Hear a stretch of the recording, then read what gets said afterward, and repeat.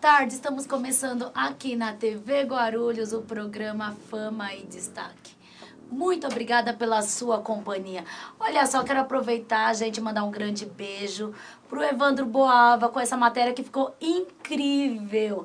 Adorei.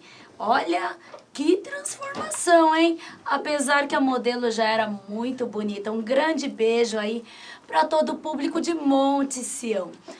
E olha só, eu cheguei aqui no programa já com um pouco de dor, mas ele já me ajudou, já me levou ali pro estúdio e falou: Vivi, vou te dar uma ajuda. Gente, eu estou recebendo ele aqui no programa Fama e Destaque, o psicanalista, hipnoterapeuta Leandro Mota, do Instituto de Hipnose e Psicanálise. Ele vai explicar um pouquinho aqui para o nosso público que é hipnose. Tudo bem, Leandro? Tudo bem, Vivi? Boa tarde. Prazer estar com você aqui. Boa tarde. Muito obrigado pelo acolhimento. E como você disse, a gente já fez uma terapia breve com uma dorzinha que você tava, né? É. Ela já teve uma experiência aí um pouquinho do que é hipnose, logo de, logo de início, né? Forte, né? Forte. Então, o que seria hipnose? Temos aí um conceito assim que é mais abrangente na literatura, que seria a hipnose um estado alterado de consciência. Nós temos a nossa consciência que, é agora, que estamos agora em vigília, temos o sono não REM, o sono REM e o estado hipnótico, que é um estado de excesso de concentração. Mas a literatura maior que diz é um estado alterado da consciência. Mas esse estado só se chega por um mediador, por um facilitador, que é o hipnoterapeuta, que é o hipnólogo ou hipnotista. Tem essas três nomenclaturas, né? E ele, ele leva você a um estado você entrar lá no estado mais profundo do sono, da sua mente inconsciente, onde estão memórias que a gente não acessa com tanta frequência, e aí a gente vai buscando algumas coisas da mente humana e do psiquismo. A hipnoterapia e regressão são terapias semelhantes? Bom, Vamos, é uma boa pergunta isso aí, porque tem muito assim uma divulgação de regressão de memória, regressão de vidas passadas. Tem até uma terapia que chama terapia de vidas passadas. Isso. Mas aí vidas passadas entra numa conotação um pouco religiosa, aí eu prefiro não falar, porque depende Tá. da crença das pessoas. Existe essa terapia? Existe. Mas a terapia e a hipnose e regressão são a mesma coisa.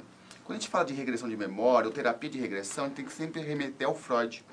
Ele que criou isso, ó, já no finalzinho do século XVIII, aí, início do século XIX, quer dizer, já tem quase dois séculos essa história de regressão de memória criada por ele. É uma técnica da psicanálise, mas que os hipnólogos, os hipnotistas foram utilizando isso de uma forma para tratar na hipnose clínica, para tratar de uma forma terapêutica, que se tornou muito mais rápida. Então são técnicas irmãs. Só que Caminham juntos. caminham juntas, só que na hipnose é feito no estado hipnótico. Na, hipno, na, na terapia conversacional, cognitiva, conversando, é feita essa regressão de uma forma mais leve. Mas quando você pede para a pessoa fechar os olhos e ir relaxando, automaticamente ela vai entrar em transe. Já vai entrar no estado hipnótico. Então são, são caminham juntas. Eu preciso dizer que são irmãs, porque só, só o método que é diferente um pouco. Dizem que o paciente que está sendo tratado por hipnose entra em transe, como você acabou de dizer. Sim. E o que é esse transe? É um Ah. esquecimento? É uma lembrança? É questão assim bem bacana de esclarecer. Até é, hoje, assim, depois de, uma- de alguns congressos, de algumas conversas que nós estamos tendo com a ciência da hipnose, está tirando o nome transe, colocando estado hipnótico, porque transe remete àquela coisa da, das raves, do transe psicodélico. Então as pessoas ficam fazendo uma associação muito da coisa de balada, Certo. de vias medicamentosas que levam a pessoa a um transe. Então a gente preferiu falar, preferiu falar estado hipnótico. Então vamos explicar para você o que, que é isso. Ela vai entrar. Eu para explicar isso, é uma, eu dou um exemplo assim, que aí você vai Sim. conseguir entender. Sabe quando a gente acorda de manhã, a gente sabe que tem que levantar, aí você não consegue mexer o corpo, você não consegue sair da cama, mas está tendo consciência de tudo que está acontecendo na sua casa. Você sabe que tem que desligar o rádio relógio. Ah, eu tenho que sair porque eu tenho um compromisso, mas você não consegue mexer na cama. Você não quer, né? Você não quer, mas está consciente. Do que tá Esse é o estado hipnótico. A pessoa no estado hipnótico do transe, ou transe hipnótico, ela está consciente de tudo que está acontecendo ao redor dela, está ouvindo tudo. Ela perde o quê? A visão, porque vai estar de olho fechado durante a, na clínica, enfim, algumas situações, mas ela perde a mobilidade, o controle do corpo.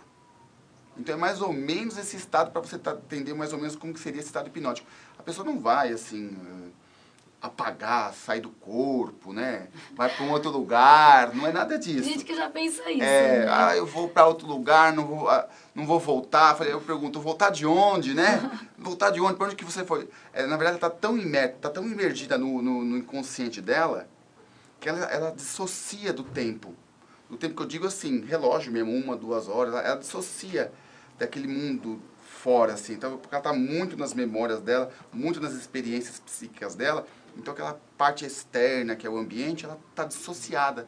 Por isso que essa sensação muito forte na hipnose, assim, muito, a hipnose muito profunda.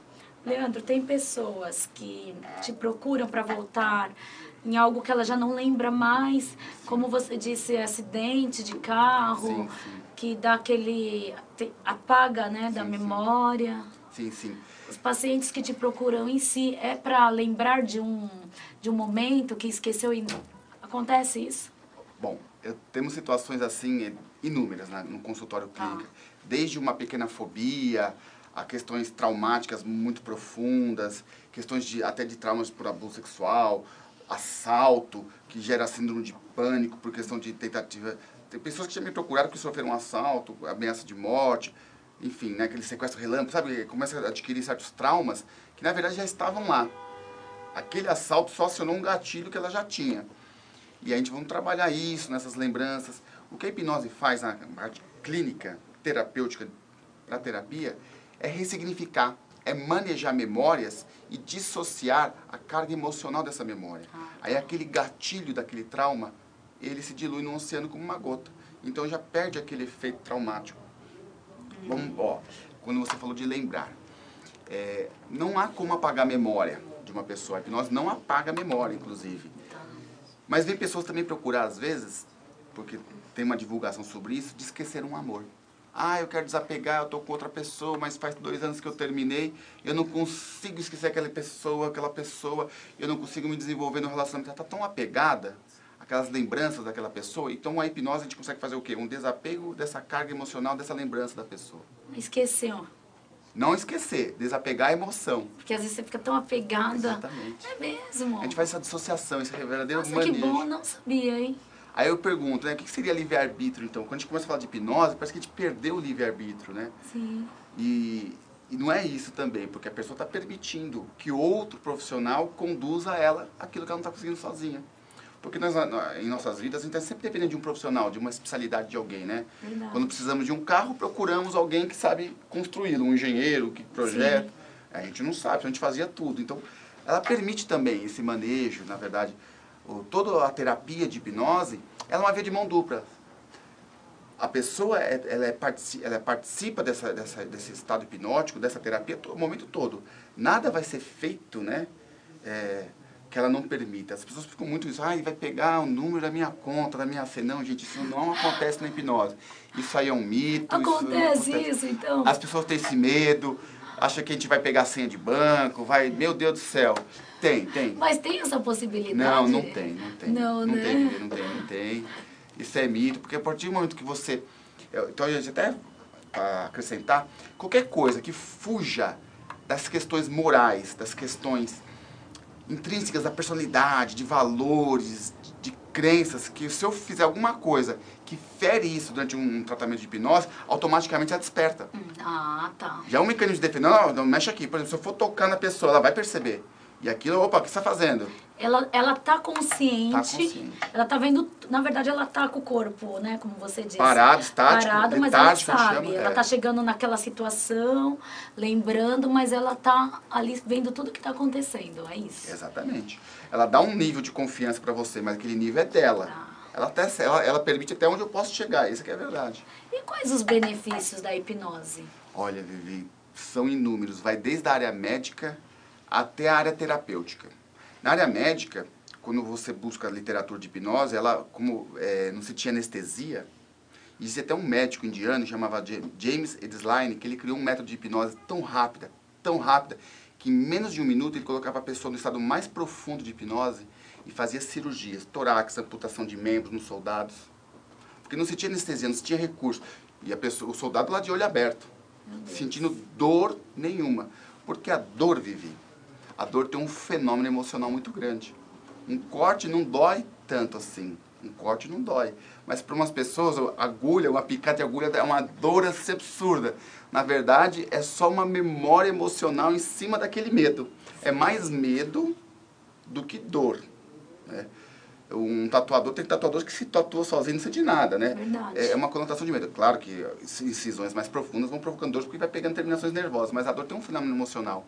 Então a hipnose ela tira esse fenômeno emocional da dor, porque a pessoa não sente nada. Na verdade, a gente, é, a hipnose, ela, ela é, para dor, no caso, a gente confunde o cérebro num, num caminho cognitivo da dor, a gente confunde esse caminho. Então não chega aquela mensagem para os seus neurotransmissores dizendo que está tendo alguma coisa ali que está provocando dor. E a pessoa acaba não tendo dor. Então esse médico, inclusive, era o médico cirurgião que desenvolveu essas técnicas. Porque a hipnose, ela nasceu mais na ciência médica. Ela só foi chegar na área da psicologia, na área da psicanálise, com o próprio Freud. E depois, lá em 1919, que ela explodiu na área terapêutica psicológica. Então ela veio mais na área médica, de questões assim mesmo de cirurgias. É muito incrível. Se a gente começa a estudar, falar aqui, a gente vai ficar aqui o programa todo. E aqui. ainda tem um benefício, né? Que você falou de esquecer um amor. Ótimo isso. Ótimo. Tentar, né? Pelo menos. Tentar pelo menos, mas com a hipnose a gente consegue. Não é só isso não. Pensa a pessoa com, assim, às vezes, síndrome do pânico. Transtorno de personalidade bipolar. Ajuda. E muito, Vivi. Nossa, não, não imaginava, de verdade. Pois é. Eu tive recentemente um caso que a pessoa veio diagnosticada por um psiquiatra que chama transtorno explosivo intermitente. São pessoas que têm um, um, uma explosão assim muito rápida e muito agressivo e não tem um traço de personalidade. O, no, ocorre muito no trânsito. Às vezes a pessoa colide com o seu carro, você só encostou. Mas ela já se explode. Ela sai do carro, quer quebrar o seu carro, quer pisar em cima, quer destruir. Chama transtorno explosivo intermitente. Ela, ela perde, ela sai de si. É uma ira, é uma fúria, ela perde o controle e acaba cometendo um monte de problema. E veio uma pessoa diagnosticada assim, a gente fez um, fez um trabalho em três sessões. Três sessões, Vivi. Nossa. Já está bem melhor. Já ajudou, já, já ajudou é, de forma pontual. Tranquiliza a pessoa. Tranquiliza. É Porque eu vou buscar lá no, na, na parte mais profunda do inconsciente dele o gatilho mental, Vivi, que faz ele explodir essa ira, que faz ele ter aquela eh, emergir, e aí você vai dissociando, manejando esses gatilhos, ele não vai ter mais. A gente vai deslocando para ele, conduzindo o pensamento dele para outras questões, né? Porque ele não controla. Muitas coisas nós não controlamos. Né? Tantos né? benefícios que a hipnose tem. Leandro, você também dá aula, né? Eu dou cursos de formação para hipnoterapeutas, eu dou aula para médico, dentista. Inclusive, no Brasil, a hipnose entrou mais forte na área da odontologia. Para anestesia. Olha que, olha que interessante. Porque tem gente que morre de medo, né? Morre de, agulha, de, de anestesia. Ela cresceu mais nessa área aí em 1954. Enfim, foi incrível. Assim, se a gente for falar de benefícios é, psicológicos, que é mais a área que eu atuo, ó, imagina uma pessoa com medo de dirigir. Conhece alguém, Vivi? Ah, conheço. Ah, imaginei que uma a gente delas, teve uma é. conversa aqui é. e ela tava com medo, né? O medo de dirigir. Tem questões emocionais desse medo. Existem raízes ali Eu emocionais. Eu tenho certeza disso. E aí a gente vai lá nesse ponto do problema. E a gente vai fazer o quê? Com a hipnose. A hipnose é um estado imagético. Então você proporciona para você lá no seu inconsciente um enfrentamento desse medo, sem dor. Vivi, pensa assim, você vai fazer uma terapia normal. Você começa a conversar com a pessoa. Ela, não, não, não, vamos parar de falar desse assunto, vamos parar de falar desse assunto. Porque machuca, provoca uma dor emocional numa conversa. Na hipnose não tem essa resistência. A pessoa está no estado hipnótico, então ela não está é, é, vivenciando muito isso na realidade da coisa, né? Então a pessoa sente uma forma mais branda de enfrentar um problema do que conversando sobre ele. Por isso que é muito mais rápido. Bacana, é um desafio então, né? É um desafio. Gente, olha só, eu vou participar? É. Eu vou nas sessões. Tô te aguardando. Quero, quero breve estar dirigindo. Daqui a pouco aí, quem sabe, dando aula de automobilismo, hein? Já pensou? Já pensou? Com certeza. Leandro, deixa seus contatos. Obrigada, eu quero que você volte, viu? Um tema muito Volta. importante. Não sabia desse. Já, já ouvi, óbvio, né? Quantas vezes a gente vê na televisão sobre hipnose, mas não desses benefícios que tem a hipnose. Conhecer a fundo mesmo, né? É, conhecer é bem bacana. Eu acho que o conhecimento liberta a gente de várias coisas, né? Verdade. A gente quando a gente se depara com uma coisa nova, vamos ver o que seria essa coisa nova, né? Para não ficar naquele senso comum, né? É Você volta? Volto sim. Combinado? Combinado. Então tá bom, gente. Eu também vou marcar a minha consulta Tá com você. Passa seu contato, Instagram. Tem o Instagram que é arroba hipnose underline psicanálise e tem o meu WhatsApp também que é 11 98241 5399.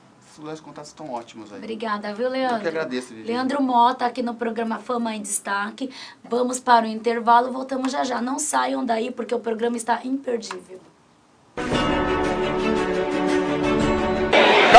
Jornal 1, olha que eu estou aqui hoje com Viviane Alves.